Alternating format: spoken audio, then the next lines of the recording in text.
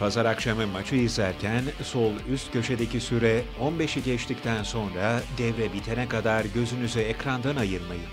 Tuvalete gitmeyin, mutfaktan bir şey lazımsa maçı izlemeyen birinden rica edin.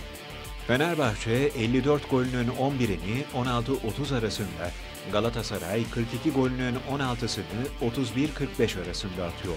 Burada Fenerbahçe'nin son 15'te attığı, liginde en yüksek sayısı olan 16 golü de aklınıza tutun.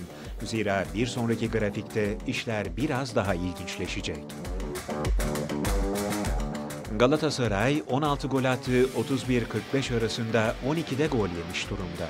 Galatasaray maçlarındaki 87 golün 28 tanesi yani yaklaşık 3'te biri bu dilime sıkışmış durumda. Yine bir önceki grafikte ligin 76-90 arası en çok gol atan takımı olan Fenerbahçe'nin 16 golü olduğunu görmüştük. Galatasaray'da bu dilimde yine oldukça çok gol yedi. Özetle tuvalet ve içecek molaları için 76-90 arası da pek ideal değil. İki takım arasında ligin ilk yarısında oynanan maçta da ilk yarıdaki karşılıklı gollerin 16. ve 31. dakikalarda Fenerbahçe'ye galibiyeti getiren golün 90 artı 4'te geldiğini de hatırlatalım.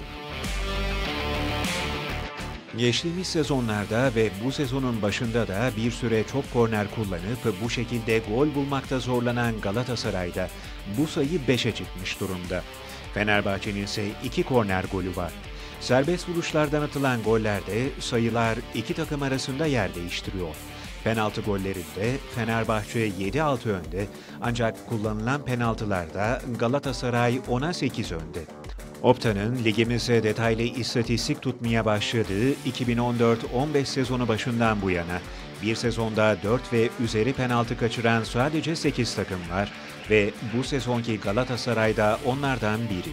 Rekor 2018-19 sezonunda 10 penaltısının 6'sını kaçıran Aytemiz Alanya Spor'da bu arada. İki takımın kornerlerden attıkları kadar gol yemiş olmaları ilginç bir başka not. Hem Fenerbahçe'nin hem de Galatasaray'ın kornerden gol averajı sıfır yani. Galatasaray'ın penaltı averajı da sıfır. Attığı da 6, 7 idi. Duran toplarla ilgili ufak bir açıklamayı da buraya sıkıştıralım. Kornerler ve direkt kaleye vurulmayan serbest vuruş golleri oyun fazı akan oyuna geçene kadar atıldılarsa o duran top türüne yazılır. Yani korner golleri sadece ceza sahasına gönderilen ilk toptan olan goller değildir. Savunmadaki takım da, hücumdaki takım da hala ceza sahası ve çevresinde kalabalıksa, içeriye gönderilen ikinci ve bazen üçüncü toplar bile o duran topa dahil edilir. İstisnası taç atışlarıdır. Taçtan gollerin taç atışından hemen sonra olması gerekir. Gol beklentisi tablosunda şut haritaları üzerinden inceleyeceğimizi belirtmiştik, oraya gelmiş bulunuyoruz. Fenerbahçe'nin penaltısız 426 şutundan ürettiği 51.5 XG 47 gol yaratmış durumda. Ceza sahası dışından atılan 12 gol ligin en yüksek sayısı. Toplam golü oranda da %22'ye denk gelen oran ligin en yükseği. Görselde de yoğun gözüken ceza sahası dışı şut sayısı ise aslında lig dahilinde o kadar da yüksek değil. Fenerbahçe ligin ceza sahası dışından en çok şut çeken 9. takımı. Toplam şutu oranda ise 17. Bu durumda ekstra bir başarı olduğunu söylemek gerekiyor. Ceza sahası dışından yine de belli bir çaba var ve buna rağmen de şutların XG ortalaması 0,11'in altında değil. Fenerbahçe'den 26 fazla şutu olan Galatasaray'ın bu şutlardan topladığı gol beklentisi Fenerbahçe'ninkinden küçük. Bu da şut seçme konusunda alınacak yol var anlamına geliyor. Ancak Galatasaray'ın penaltısız gol beklentisinin 13 gol altında olmasını sadece bununla açıklayamayız. İyi ve doğru yerlerden çekilmiş şutlardan da atılamayan goller ve buna neden olan bitiricilik sorunuyla şanssızlık üzerinde durulması gereken konular. Galatasaray'ın da şutlarının ortalama XG'si normal değerinde.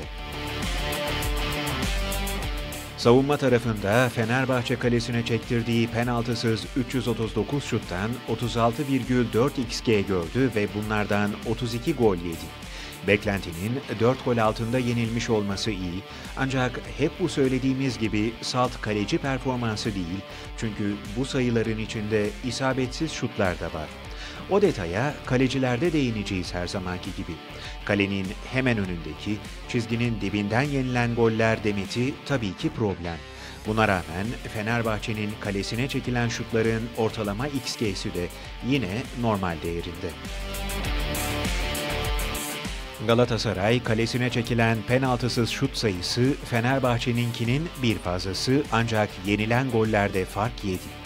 Yaklaşık 35 XGA'dan 39 gol yenilmiş olması bir savunma sorununa işaret ediyor. Galatasaray görselinde altı pasın içinden yenilen gollerin Fenerbahçe'ninkinden bile daha çok olması da yine sıkıntılı bir durum. Yine bu verinin de Muslera üzerinden değerlendirmesini ayrıca yapacağız. Sahanın son 40 metresinde kazanılan toplar ve bunlardan girilen pozisyonlar açısından Fenerbahçe'nin 295 önde top kazanması ve bunlardan bulduğu 56 şut ligin en yüksek sayıları. Buna rağmen ligde Fenerbahçe'nin bu şekilde bulduğu 5 golden fazlasını atan 5 takım var. Galatasaray aynı şekilde kazandığı topların sayısında ligin beşincisi ancak bu önde kazanılan toplar sonrası şutlarda Fenerbahçe'nin hemen ardından ikinci. Ön alan baskısıyla kazanılan toplardan sadece 3 golü olan Galatasaray'da bitiricilik sorunu burada da karşımıza çıkmış oluyor. İki takımın görsellerini yan yana koyup karşılaştırdığımızda Fenerbahçe'nin kazandığı topların kenarlarda yoğunlaştığını, Galatasaray'da ise orta saha çizgisinden sonraki hatta daha denk dağıldığını söyleyebiliyoruz.